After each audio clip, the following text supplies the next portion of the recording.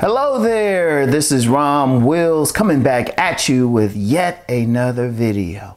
Learn to pay attention to women's behavior. Behavior. Now, this is very important. And I don't mean necessarily in terms of, oh, these women behaving badly or anything like that. I mean their body language, how they are acting, their nonverbal communication.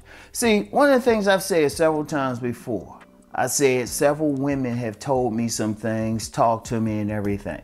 Now, I had, um, I've heard of uh, some detractors questioning that because they were wrong. Ain't you say women be lying and stuff? Well, yeah, they do. But here's the thing, and I learned this coming up. You got to match what their behavior is with what they're saying. Because understand, some women can say a whole lot, but body language says even more. It's hard for them to hide that. It's hard to fake that. And indeed, if you even listening to them talk, you know, even their tone of voice, you got to be able to communicate, you understand what they're saying because uh, they can say hi in three different ways. They can say the word hi and it means three different things. But that's a whole other video as far as interpreting how they actually communicating uh, verbally, but non-verbally, that, that speaks volumes. That speaks volumes. Like if you in front of a woman, you talking to her, say you approach that woman, you talking, her body language says a lot. I even mentioned it in Nice Guys and Players. Like you could be talking to a woman, but she don't look at you the whole time, or she's ignoring you. And then I used the scenario in Nice Guys and Players of the guy still tried to get her number and she just told him no. But if he was paying attention to her behavior, she didn't look at him the whole time. You know, how is she standing? Is she smiling? See, when I when I've talked about women telling me some stuff, I'm also um, correlating what they're saying with how they're looking at me, how they're talking, and indeed, just from what I've done in life professionally, working as an investigator, uh, both uh, you know, in the DC court system and also with the Department of Justice, you start learning how to talk to people and catch what they're saying. Also, work briefly as a journalist. I I'm not joking when I say I've had a thousand jobs, and you know, I know some people they like they can't get that. Rom's always been a hustler. but anyway, well, shoot, even working in sales, even working in sales, you learn how to read people you have to. You have to. I'm very good at that. I'm very good at that because so many people have said, hey, Rom, you look like you're looking through me. I am.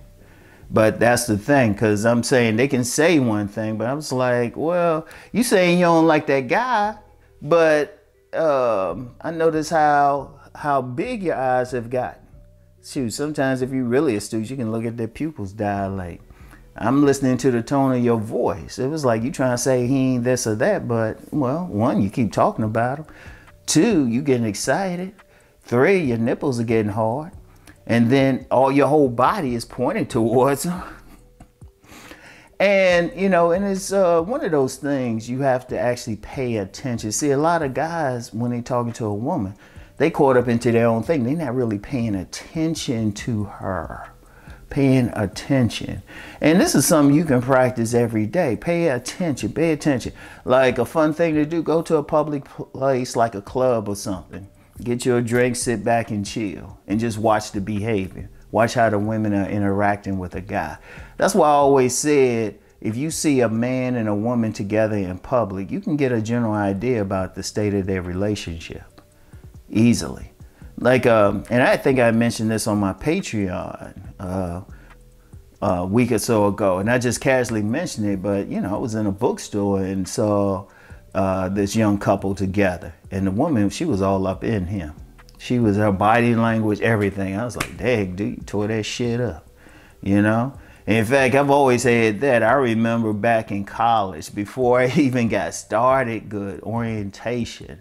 There's this big old Italian dude, and he had this fine little honey uh, next to him. She all sweaty and stuff. I ain't know him. I just looked at him. I said, I took, I just, I just stood next to him. I said, you hit that, didn't you? He's like, yeah. I could just tell by her body language and everything. See, you got to pay attention to it because it tells you a lot. See, a lot of men get played because they're not they not paying attention to the behavior, and definitely not listening to her tone of voice when she says stuff. Listening to her tone of voice, how excited does she sound when she says, like, if you ask her out, how excited does she sound, or is she playing it real cool?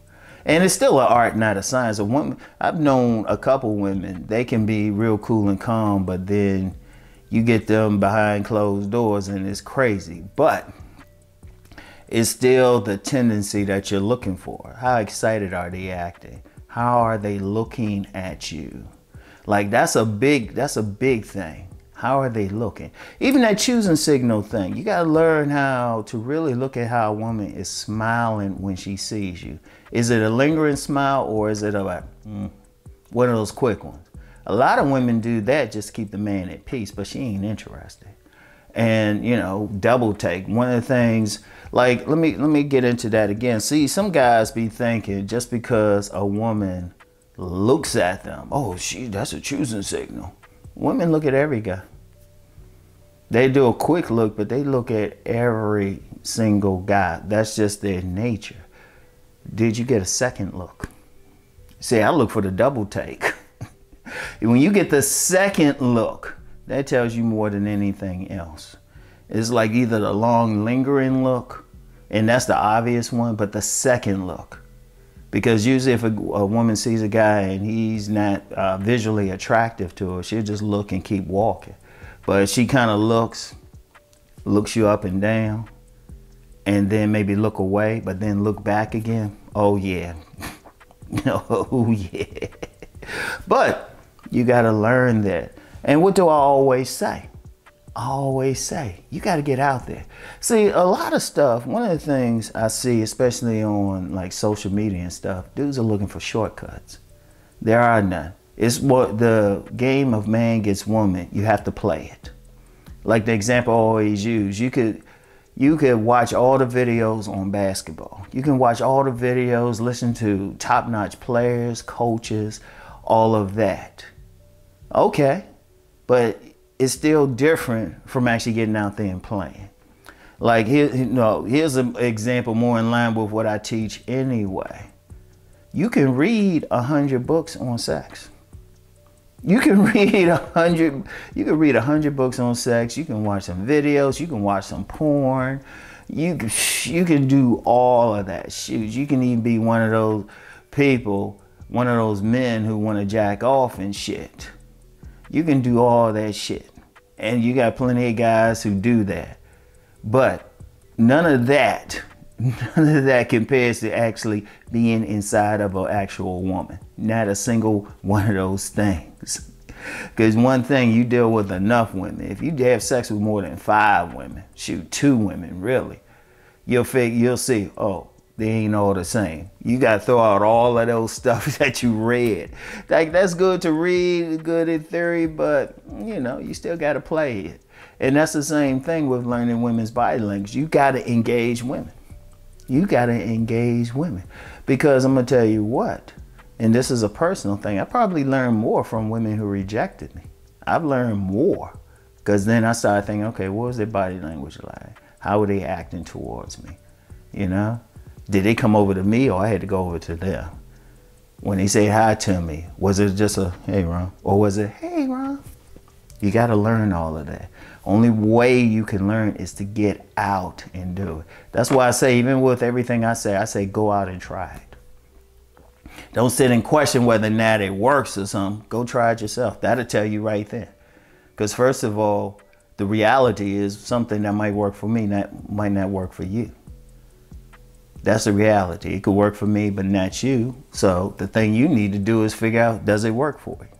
Everything. All right. So anyway, that's all I have for today, y'all. Um, well, I keep saying that, and I'll probably do a car video. That's all I have for right now. I'll get back with y'all. Peace and blessings.